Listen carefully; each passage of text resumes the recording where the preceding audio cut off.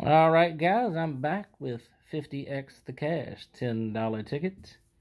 Went up to 250,000. We're looking for a 10x, 20x, 50x stack of cash in the bonus box. I have got that one time. Ticket one. This ticket, the lowest prize on it is $5. So if we get a 10x, it's going to be a good. 50x would be a minimum $500 because there is no $250 prize. I like the symbol search because I want to see an X.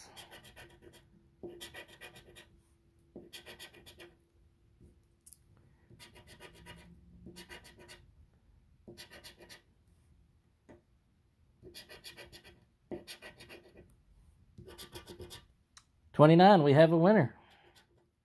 Hey, it is a winner. I will take a winner. 37,